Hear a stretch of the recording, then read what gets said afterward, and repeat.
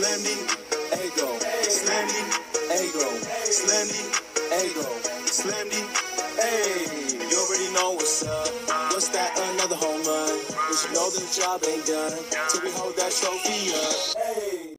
What's up, everybody? Welcome, episode 560 of the Talking Friars podcast and YouTube show. Ben Fadden here with a special guest, Ryan Finley. He is the sports editor for the UT.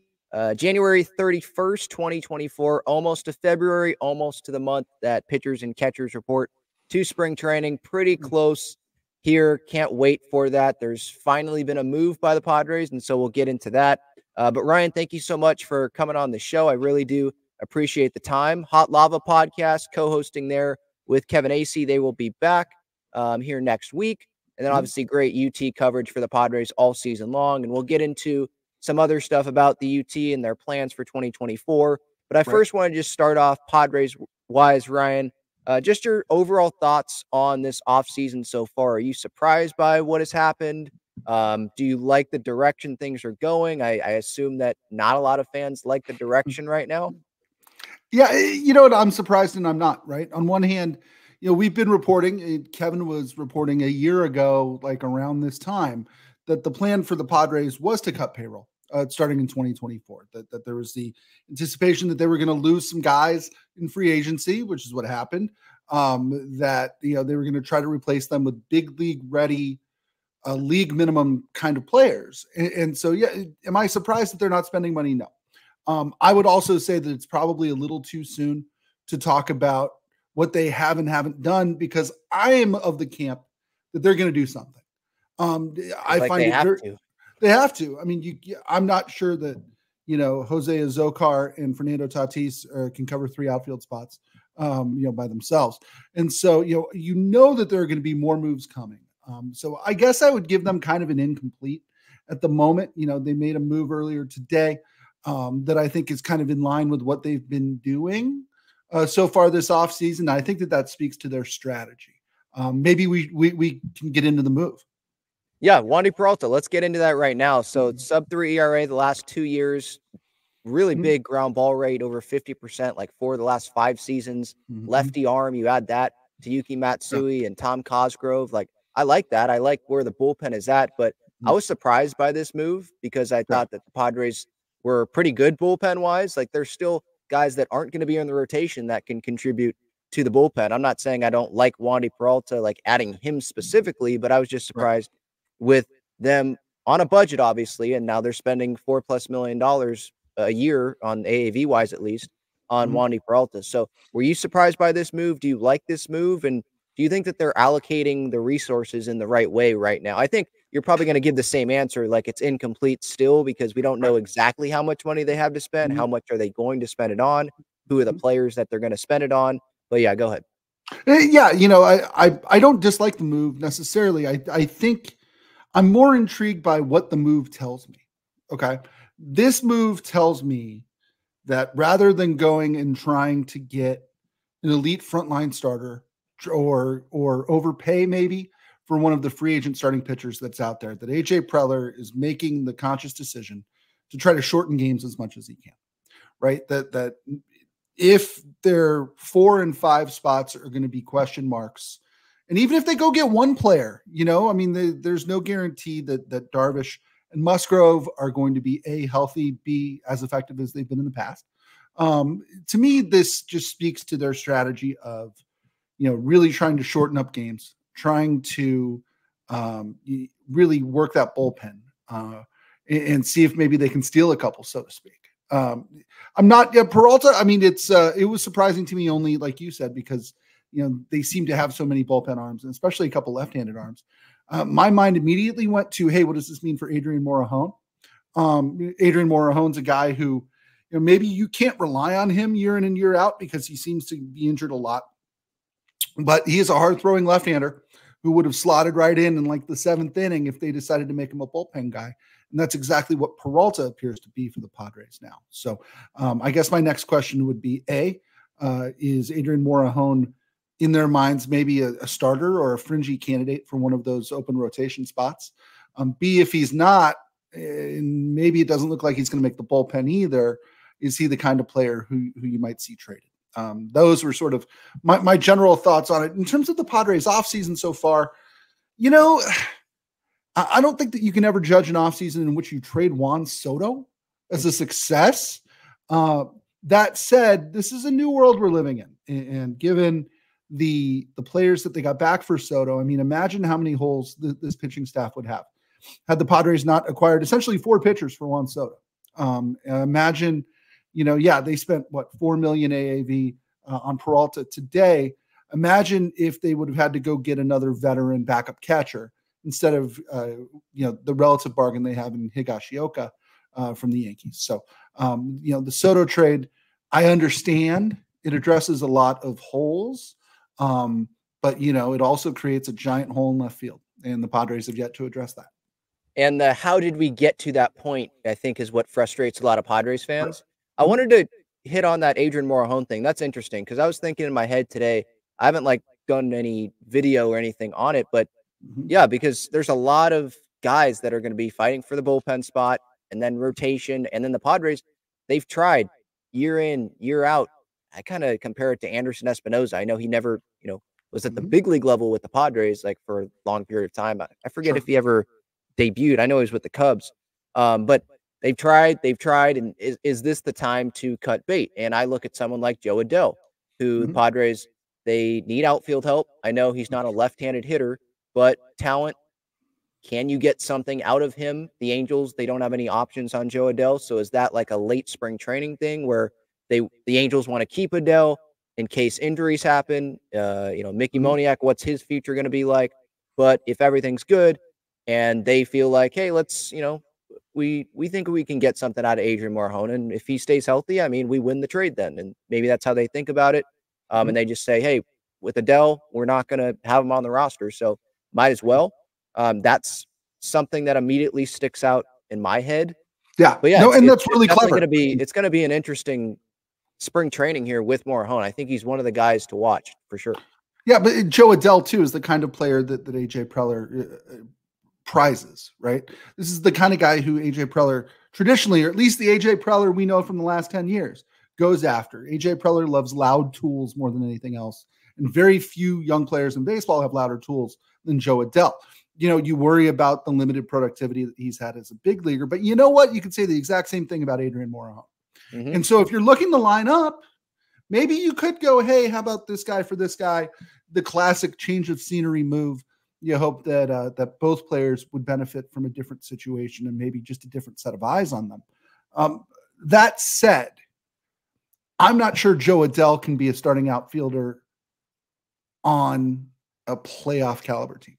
Right. And and you know maybe you put Adell in sort of the you know maybe you have Adell and Azocar battling for a roster spot or maybe you know you sort of turn it into one of those hey somebody's DHing every night. And that would make some sense you know, uh, Kevin Acee was on a, a separate um, broadcast earlier today and and made mention of the fact that uh, somebody like Tommy Pham would have mm-hmm. some interest in a reunion with the Padres. And I know that he can be a polarizing player, but to me, he makes a ton of sense. Or somebody like him, right? It doesn't have to be Tommy Pham, but maybe Eddie Rosario, yeah, Eddie David Rosario, Peralta, yeah. The, David, the fact that David Peralta that it's 2024 and he hasn't been a Padre yet is a little bit of a surprise to me. Um, yeah. You know, he's exactly, you know, David Peralta, you need a left handed bat. You need somebody who's a veteran big leaguer. Um, he would make some sense. You know, you put him in right field, he's got a good arm. He DHs a couple days a week because, again, he's kind of on the older side and maybe you want to keep him fresh. Somebody like Tommy Pham, you know, maybe you give him a one year deal, you pay a little bit more than you thought you'd want, you thought that you would for him. Maybe you say, hey, like, you know, one year, seven or eight million dollars you give him a chance to build another case to hit the market again this time next year. You come in under whatever your uh, your budget, artificial or not, that is. Um, that would make sense. I think that they are more likely to end up with one of those veteran guys who may not have the loud tools, but somebody who you can depend on, as opposed to taking a flyer on somebody like Adell. Um, I'd like to see both happen, but I, I think that the veteran guy is probably the safer play for a team that considers itself a playoff contender. Yeah, and that's obviously free agency. Someone like David Peralta, Eddie Rosario, Tommy Pham.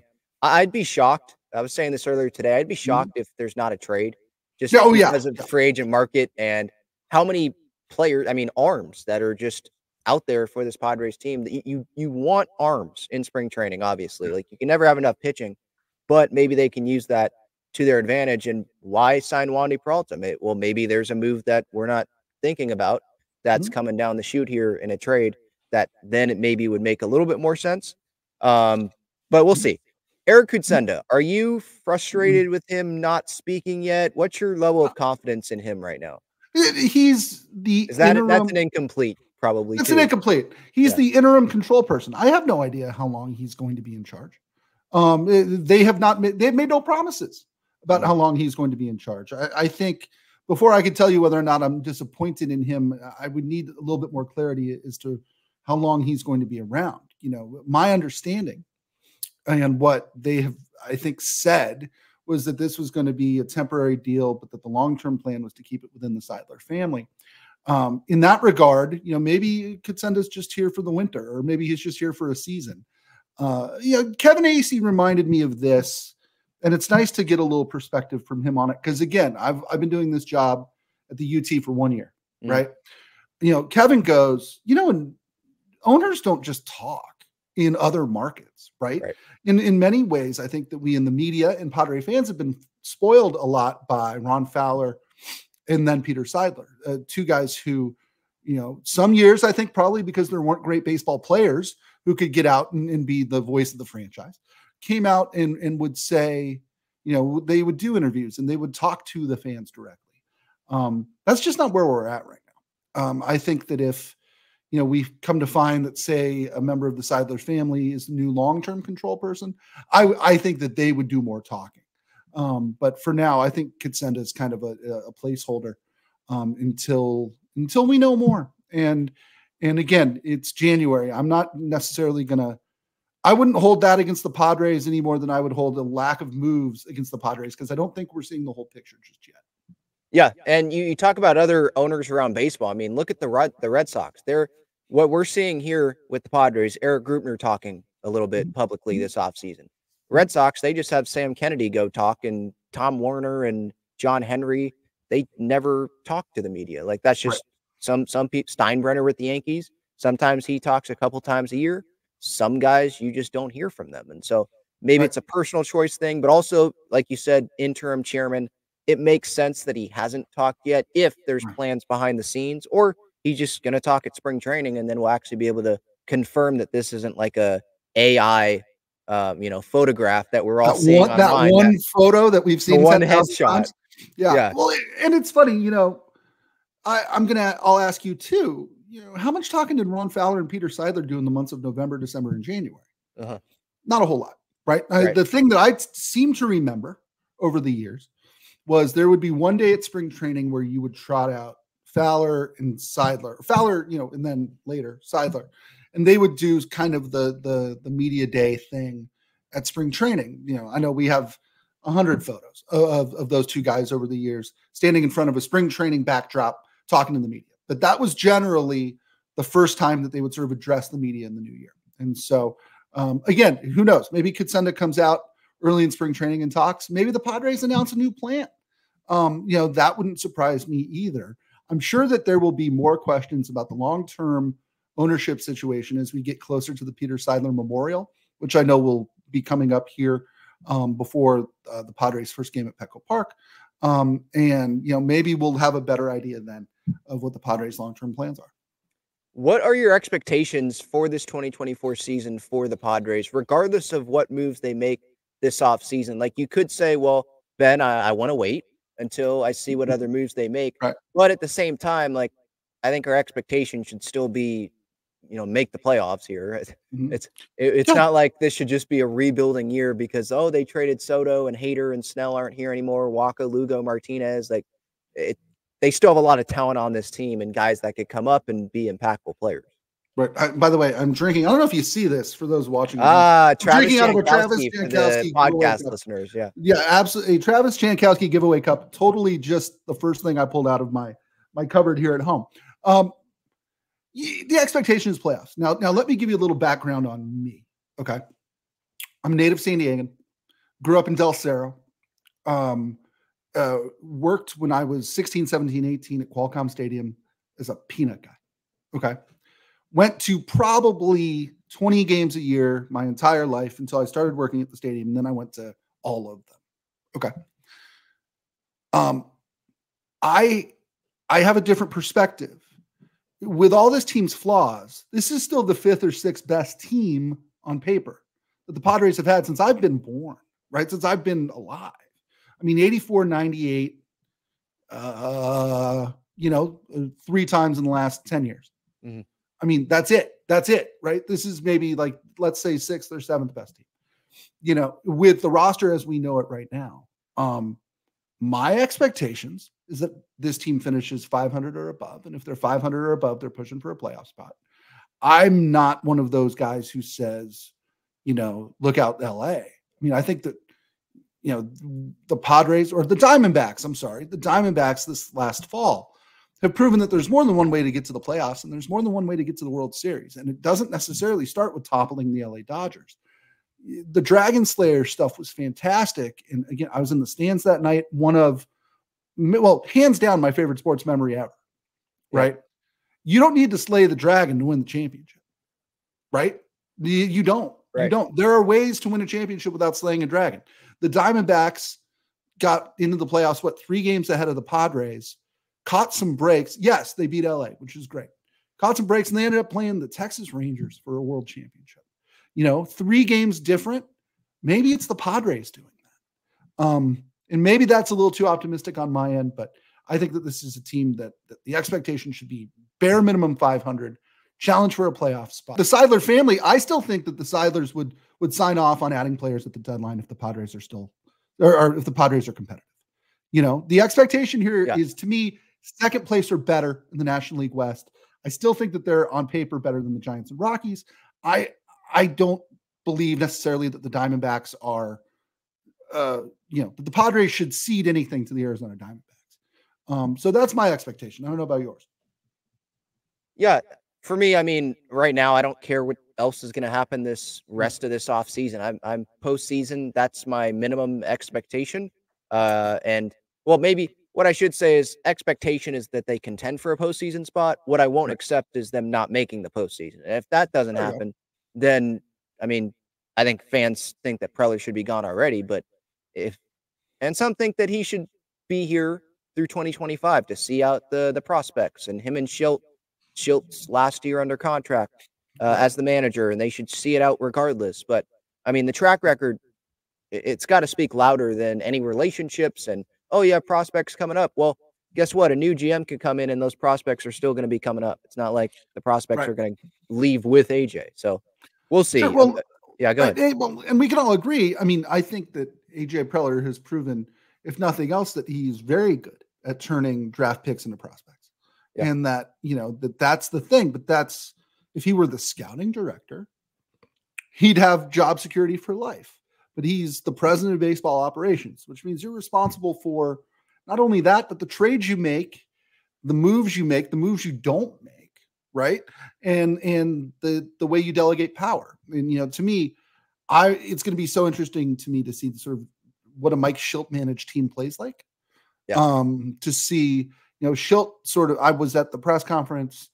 Shildt got my attention when he talked about doing the little things right. And I know that it's a baseball cliche, but if had the Padres done the little things right last year, they would have made the playoffs because you need to win three more games mm-hmm. and a little bit better base running, uh, a little bit better situational hitting, winning a one or two dang extra inning games over the course of a long season.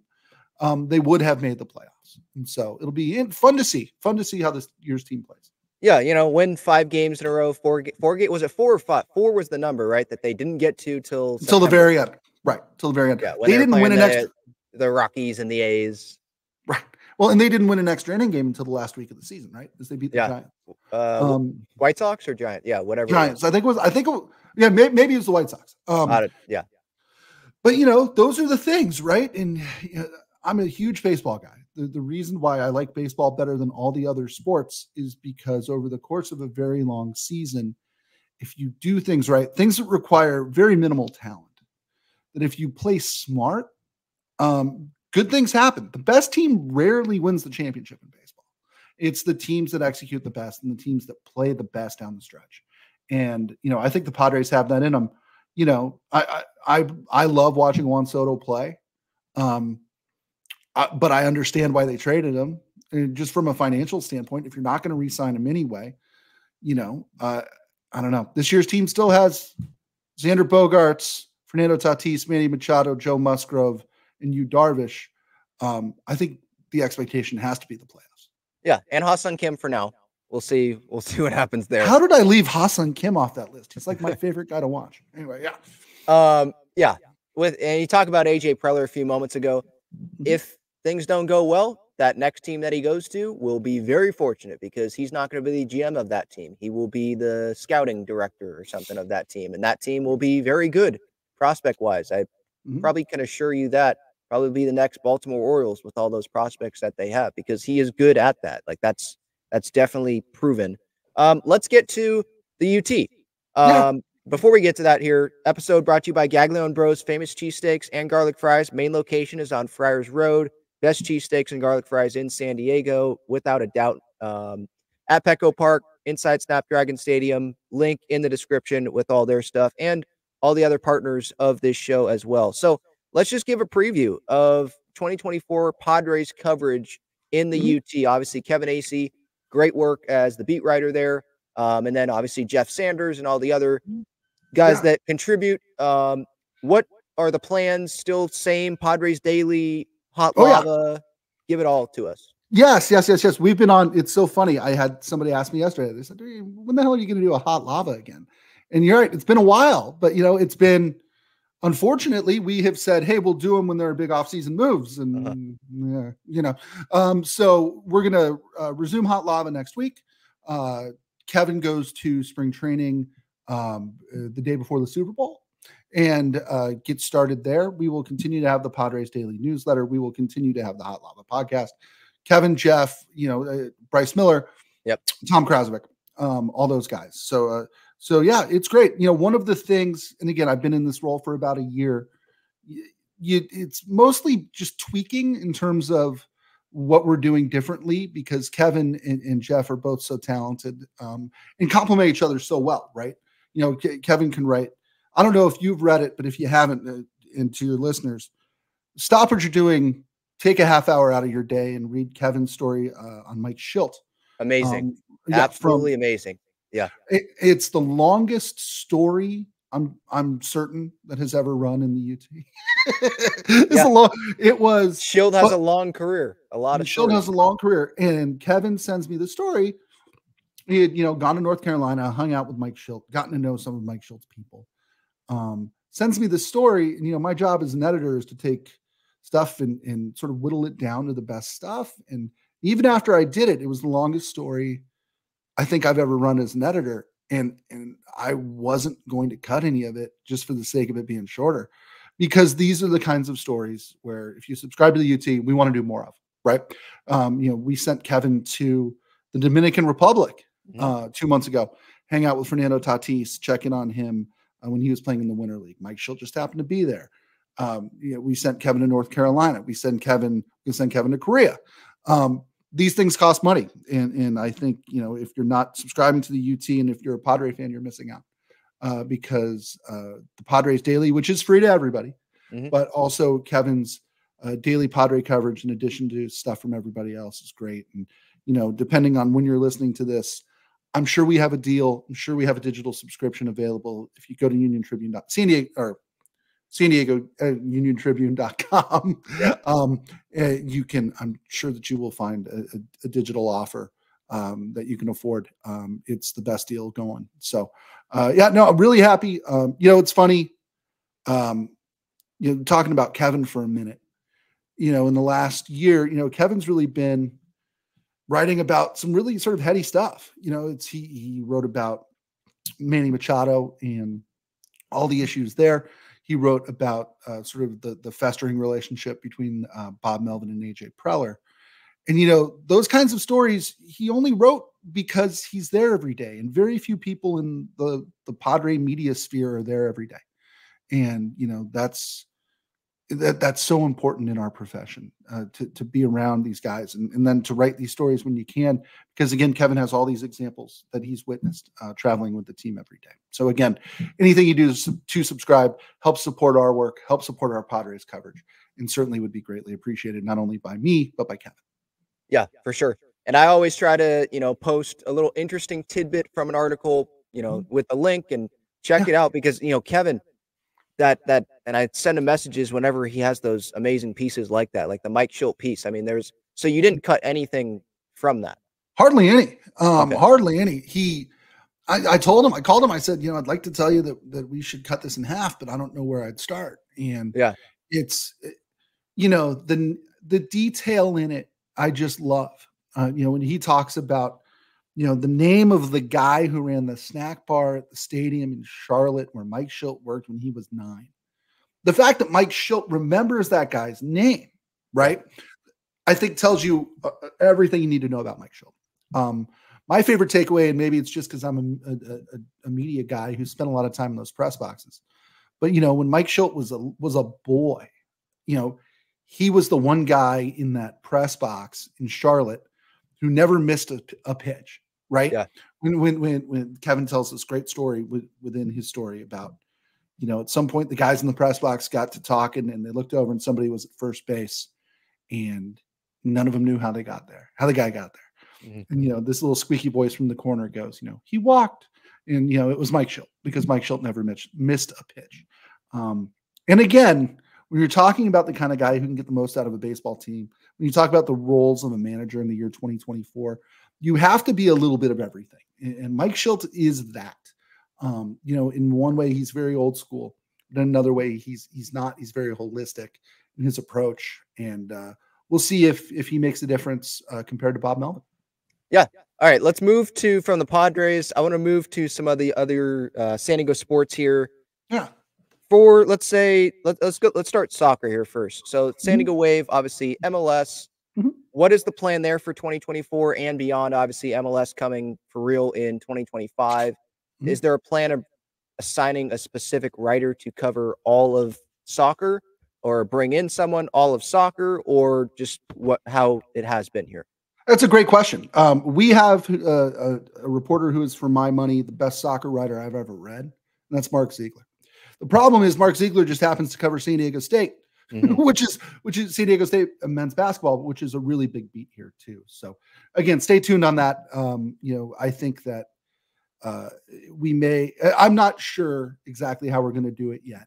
Their season doesn't start for another year. Mark's doing all of the run up to their inaugural season and doing a heck of a job. He had a story in Sunday's paper about the Right to Dream Academy and how this folds into the new MLS expansion team um, which is really good. And so we expect more stories like that as we get a little bit closer. Um, Tom Krasovic does the bulk of our San Diego Wave coverage um, and does a really good job with it. You know, approaches that this is a guy who's covered the Padres, who's covered the Chargers, who's, you know, I was reading a story today, Tom Krasovic's story from the day Tony Gwynn got his 3000th hit. He was there, you know, to have that experience on a beat like the Wave is invaluable. So we'll see. San Diego, at least in my mind, um, I think they're still looking for that sort of one B or number two uh, franchise that everybody can get behind, right? Mm-hmm. I think everybody here can kind of agrees that they're Padre fans, right? Because it's it's San Diego's one sort of major professional sports team. You know, I think that gosh, San Diego State basketball is right there.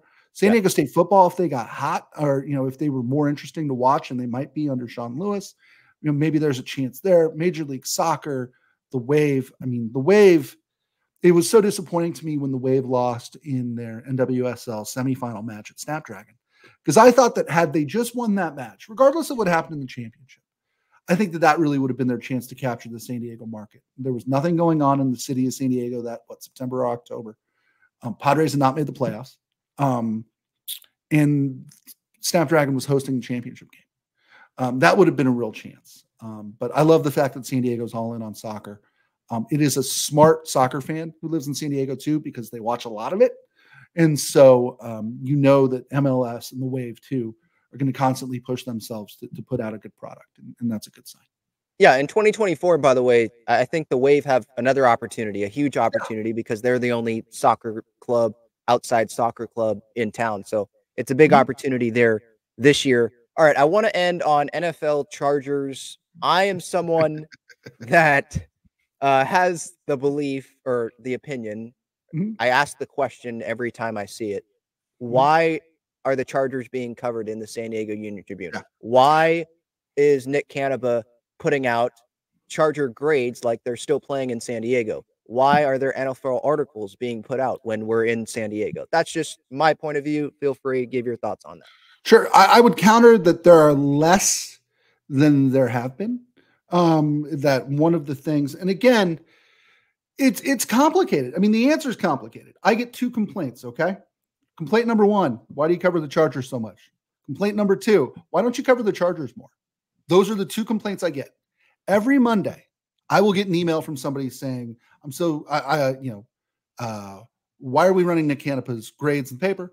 And then I'll get an email from somebody else saying, I watched three hours of the Chargers yesterday. I don't understand why there isn't more about them in the paper. Which Um, one's which one's easier to answer? Because for me, the easier one to answer is uh because they're not in San Diego anymore. That's why we're not writing. Yeah. Now, I would argue, though, counterpoint. Mhm. Um, and again, I agree with you, by the way, in terms of if I take off my sports editor hat and put on my San Diego native hat, um, I have not cared how the Chargers did since the day they left. Okay. I don't root or I don't root against them. I, I don't wish bad things for them.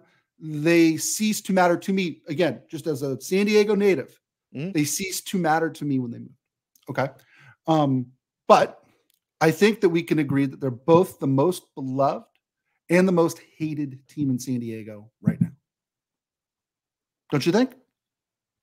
Mm, most hated, yes. Beloved, I feel like I don't know if I'd say that with the Chargers. I feel like you got to put that the Padres with that. No, no, no. I'm sorry. NFL team. NFL. Yeah. Yes. Oh, yes. okay, Yes. Yes. Okay. yes. Yeah. NFL team. Okay. of I think that if we're talking NFL, right? I mean, Yeah. there are more Charger fans here than Packer fans, right? Yes. Yeah. Um, and so, in that regard, there is an obligation to the segment of our readership that follows the Chargers to run some Charger stuff. Here's what I'm not going to do as the sports editor I am not going to let coverage of San Diego sports suffer to put more time or resources into the Chargers.